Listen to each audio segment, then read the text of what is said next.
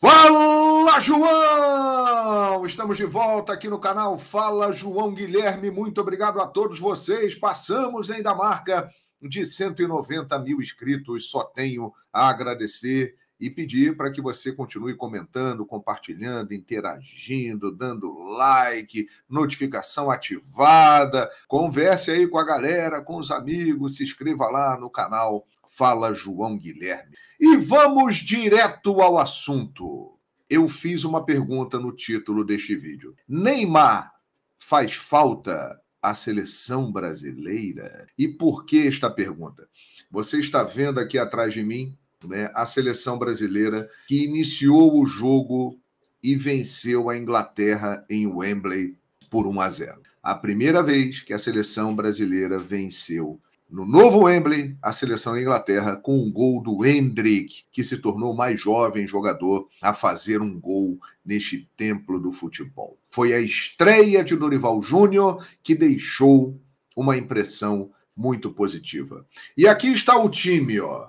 Time do Brasil que entrou em campo, João Gomes, Beraldo, Fabrício Bruno, Bento, Danilo, Bruno Guimarães, Rodrigo, Paquetá, deixa eu chegar aqui para o lado, ó. Vinícius Júnior, né? O Endel e tem também aqui o Rafinha do outro lado. Eu vou me movimentar bastante no vídeo aqui, porque eu vou responder essa pergunta agora. Neymar faz falta à seleção? Só o tempo vai dizer. Mas ontem foi um indício claro que a seleção brasileira pode ser muito competitiva e forte sem o seu principal jogador. Não há dúvida que Neymar é o maior talento produzido pelo Brasil nos últimos 15 anos. Não há ainda no futebol brasileiro um jogador nos últimos tempos com mais qualidade técnica que Neymar. E quem pode ocupar esse espaço? Se tornar o grande líder, o grande jogador em campo, tecnicamente e também com um comando diante dos jogadores. E eu vou destacar um cara aqui, ó. Olha aqui, ó. Esse cara aqui, Lucas Paquetá, ele me chamou a atenção ontem.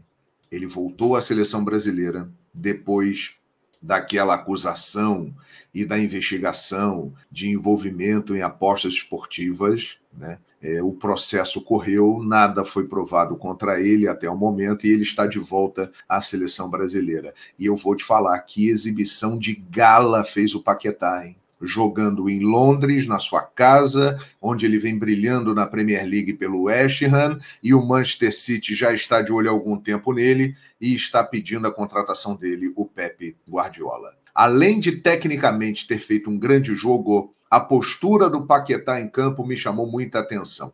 Ele de fato foi um líder, com a bola no pé e orientando os jogadores, chegando junto na hora que tinha que chegar, cometeu até um número excessivo de faltas. Mas a presença do Paquetá foi muito importante como um toque também de criatividade, de qualidade no jogo da seleção brasileira, municiando os atacantes. Andréas Pereira, quem diria, hein? Andréas Pereira também foi um ponto positivo. Entrou com muita personalidade e decidiu o jogo, porque é dele o passe para o Vinícius Júnior, linda bola, que origina o gol do Hendrick. E ele deu o passe para que o Hendrick se consagrasse ainda mais e fizesse o segundo gol. E ele perdeu. Então, eu acho que Lucas Paquetá surge como uma liderança técnica desta seleção brasileira e o Andréas Pereira também pode ocupar um espaço interessante. Agora eu vou chegar para cá, ó, e você vai ver aqui Vinícius Júnior. Olha o Vini aqui. Vinícius Júnior é mais um ponto importante também da presença do Paquetá, porque eles cresceram juntos no Flamengo. Eles são amigos, têm muito entrosamento, se dão muito bem. E a presença do Paquetá, que é mais velho do que o Vinícius Júnior, pode dar um suporte para o Vini se sentir à vontade na seleção brasileira e desempenhar um futebol como ele faz no Real Madrid. Acho que Vinícius Júnior já teve bons momentos na seleção brasileira. Ele jogou bem a Copa do Mundo do Catar em 2022, mas de fato ele ainda não explodiu na seleção como já explodiu em clube. E ele precisa chamar essa responsabilidade, porque ele é, sem sombra de dúvidas, o jogador brasileiro que está mais próximo neste momento de ser melhor do mundo. Ele é o cara que está bem mascotado nessa fila, tem aparecido sempre aí com destaque nos prêmios internacionais. Então, Vinícius Júnior, ele precisa amadurecer, focar no seu jogo e se sentir à vontade na seleção brasileira. E o Paquetá é um cara que pode ocupar um espaço muito grande na seleção.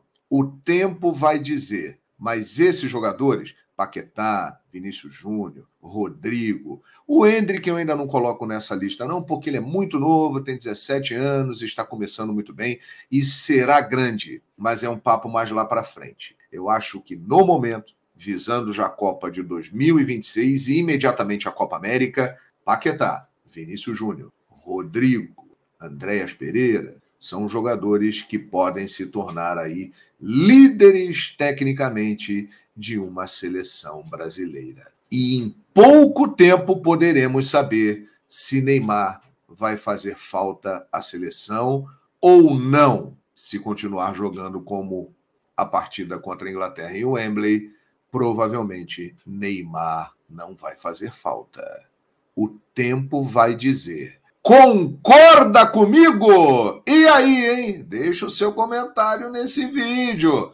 Fazia tempo, hein, que não dava gosto assim de assistir um jogo da seleção brasileira. Foi muito legal acompanhar o Brasil ontem contra a Inglaterra. E terça-feira tem Espanha e Brasil no Santiago Bernabéu. Aí o Vinícius Júnior vai estar em casa, o Rodrigo vai estar em casa, né? O Hendrick já vai se acostumando lá. Aliás, se eu fosse Dorival, eu tirava o Rafinha e colocava o Hendrick de início. É isso aí deixe o seu comentário e muito obrigado por participar e acompanhar mais um vídeo no canal Fala João Guilherme. Neymar faz falta? Estou em dúvida.